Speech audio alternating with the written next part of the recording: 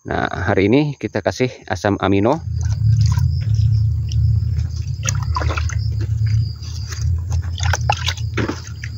Assalamualaikum warahmatullahi wabarakatuh, sahabat tani. Alhamdulillah hari ini admin update kembali ke teman-teman semua. Alhamdulillah tanaman kita sekarang lebih segar sahabat ya, pucuknya lebih hijau sahabat. Ini update terkini tanaman cabai sahabat ya. Nah seperti ini sudah mulai hijau pucuk barunya. Nah seperti ini sahabat untuk perkembangan terkininya. Tanaman kita sudah menampakkan bahwa tanaman ini sudah segar sahabat ya. Sudah tumbuh. Akarnya sudah bekerja ini sahabat kalau sudah seperti ini. Nah admin sengaja update untuk hari ini karena kemarin kita habis melakukan pengocoran sahabat ya. Jadi siapa tahu aja teman-teman penasaran seperti apa perkembangan terbarunya? Gagal atau selamat? Siapa tahu teman-teman pengen tahu gitu ya. Nah seperti ini untuk perkembangan terkininya sahabat. Nah malah mantap sahabat ya. Seger. Nah ini alhamdulillah 16 lubang tanam. Alhamdulillah selamat. Dan yang ini juga yang waktu itu loyo sahabat ya sekarang mah udah seger sahabat. Udah bangun dia udah seger sahabat ya. Perkembangan terkini tanaman cabai 16 lubang tanam sahabat. Nah sahabat tani hari ini admin akan berbagi ke teman-teman semua untuk tips dalam mempercepat pertumbuhan tanaman cabai sahabat ya. Nah kita akan praktekkan kembali rahasia-rahasia kita dalam menanam cabai beberapa tahun ke belakang sahabat ya. Nah sahabat tani untuk cara admin dalam menanam cabai sahabat ya di masa-masa pertumbuhan seperti ini ini perlu kita punya PT atau zat perangsang tumbuh sahabat ya. Baik yang berupa POC atau pupuk organik cair ataupun yang seperti ini contohnya sahabat. Nah teman-teman bisa beli di toko ya kalau pengen PT biasanya ada yang di toko itu yang dikemasan gibro sahabat ya. Atau yang cair juga ada asam amino sahabat ya. Itu juga bisa dijadikan sebagai CPT nah sahabat tani kenapa admin menggunakan ini untuk pemupukan hari ini? Karena tanaman kita ini harus dipacu pertumbuhannya baik dari akar, batang ataupun pucuknya sahabat ya. Nah, dengan ditambahkan ini maka akar akan lebih cepat bekerja, pucuk akan lebih cepat bertambah, batang akan lebih cepat besar sahabat.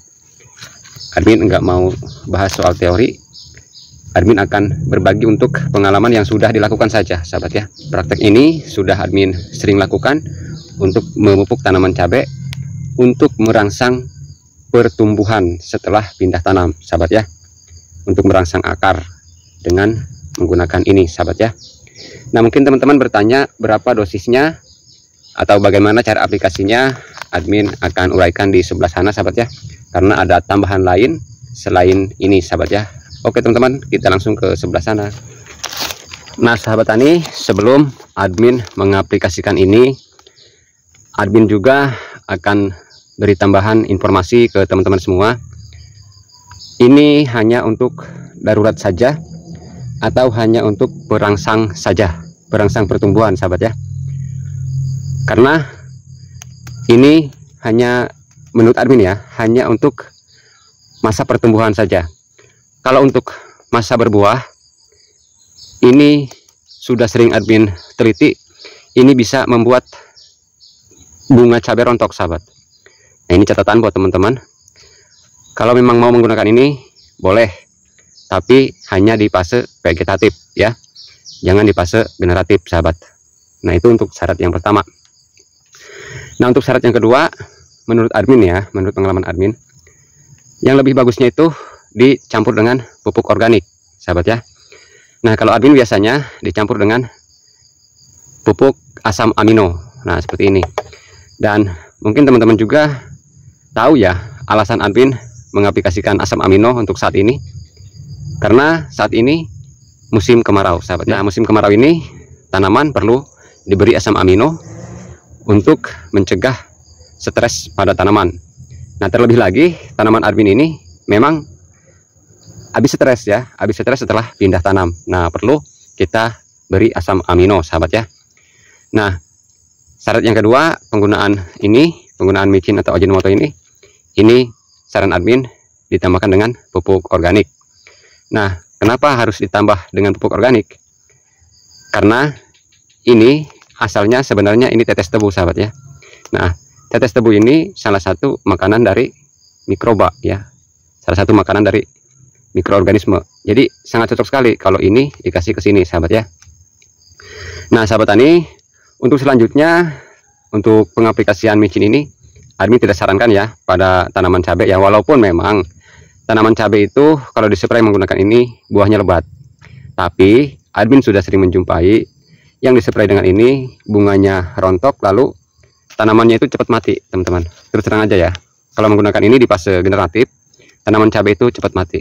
Jadi kalau bisa sih jangan ya di fase generatif menggunakan ini sahabat walaupun lebat tapi lebatnya sebentar tapi tanamannya cepat mati. Nah sahabat tani teman-teman untuk generatif bisa membuat pupuk asam amino aja sahabat ya untuk aplikasinya. Nah sahabat tani untuk membuat asam amino mudah sahabat ya. Bahannya ya bisa dari daun kelor bisa dari keong-keongan seperti bekicot seperti ini atau dari keong sawah atau dari telurnya boleh sahabat ya. Nah untuk cara membuat asam amino banyak ya di KNF satu banding satu ya antara protein dengan gula merah. Tanpa air ya. Di KNF juga ada ya ilmunya. Atau dengan cara yang admin sudah bagikan waktu itu kita membuat PSB sahabat ya. Membuat PSB dengan ini bekicot dengan micin dan air jakaba ya. Bisa juga ya membuat asam amino dengan dijemur ya. Jadi bahannya mudah sahabat ya. Bekicot micin dan air jakaba. Kemudian dijemur Nah setelah 30 hari panenlah asam amino atau PSB sahabat ya. Nah sahabat tani tadi itu ya syaratnya ya. Yang pertama penggunaan micin ini di fase vegetatif aja. Yang kedua syaratnya ditambahkan dengan pupuk organik ya baik asam amino ataupun pupuk organik yang lain. Nah apabila memang teman-teman terpaksa ya nggak punya gitu nggak punya asam amino ya bolehlah kita menggunakan ini saja tapi dosisnya dosis rendah sahabat ya nah untuk dosis yang admin sarankan itu per 10 liter air itu seperempat sendok saja untuk micinnya sahabat ya jangan banyak-banyak. Nah kita akan praktekkan untuk dosis micin per ini sekitar 8 liter sahabat ya. Kalau ini full 10 liter setengah sendok nggak apa-apa ya. Oke sahabat tani sekarang kita langsung praktekkan untuk syaratnya yaitu yang terakhir yaitu dosisnya jangan banyak-banyak yaitu seperempat sendok makan sahabat ya Nah, seperti ini, seperempat sendok makan saja untuk 8 liter air ini, sahabat ya. Nah, seperti ini. Ini admin aplikasikan micin ini kalau bagi admin ini hanya untuk makanan dari mikroba yang ada di sini, sahabat ya, yang ada di asam amino admin, sahabat ya. Tapi kalau memang benar-benar nggak punya, ya nggak apa-apa lah kita aplikasikan. Asal syaratnya itu untuk mempercepat pertumbuhan akar saja, sahabat ya. Nah, sahabat tani, sekarang admin akan aplikasikan asam amino. Nah, ini tulisannya asam amino ya. Ini admin biasa tulis ya. Kalau punya pupuk itu ada juga yang ditulis. Karena asam amino ini kalau membuat seperti ini lama ya tiga bulan sahabat ya. Jadi perlu kita tulis. Membuat asam amino yang bagus itu tiga bulan sahabat. Tapi satu bulan juga boleh sih digunakan sahabat ya. Ini udah lama banget sahabat. Udah tiga bulan lebih asam amino kita sahabat ya. Nah sahabat tani kita gunakan 200 ml aman sahabat ya. 200 ml per 10 liter air sahabat Nah ini asam aminonya sudah pekat ya, sudah hitam. Mantap ini untuk diaplikasikan pada tanaman sahabat. Ini pengganti NPK sahabat ya, untuk asam amino ini sahabat. Ini udah super mantap ini pupuk untuk mencegah tanaman dari stres kemarau sahabat ya. Oke sahabat tani, sekarang kita tinggal aplikasikan per tanamannya ini satu gelas sahabat ya. Nah kita siramkan sahabat satu gelas per lubang tanam sahabat ya Iya seperti ini sahabat untuk aplikasinya Nah, yang ini yang waktu itu loyo alhamdulillah udah segar sahabat ya. Nah, hari ini kita kasih asam amino dari micin dan asam amino pupuk organik cair sahabat. Supaya pertumbuhannya lebih cepat dan juga supaya tidak stres ketika musim kemarau sahabat.